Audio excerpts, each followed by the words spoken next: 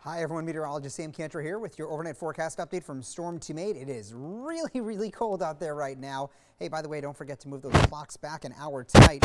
Sunset on Saturday was at 5.42 p.m. and it'll be closer to 4.30 come Sunday afternoon, or you, I guess you could call it evening, I don't know. Temperatures below freezing for most overnight tonight. They're already below freezing in many spots in the state.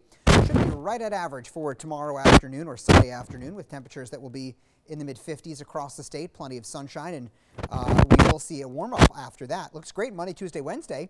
Temperatures in the low 60s at the shoreline. We will see some more clouds and some showers coming in as we get closer towards the weekend, but at this point it does look to be dry across the state for most days in the eight day forecast.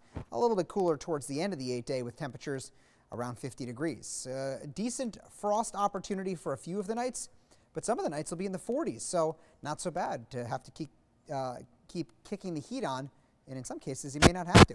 All right, have a great night, friends. Ashley has your forecast on Good Morning Connecticut starting at 6. We'll talk to you soon.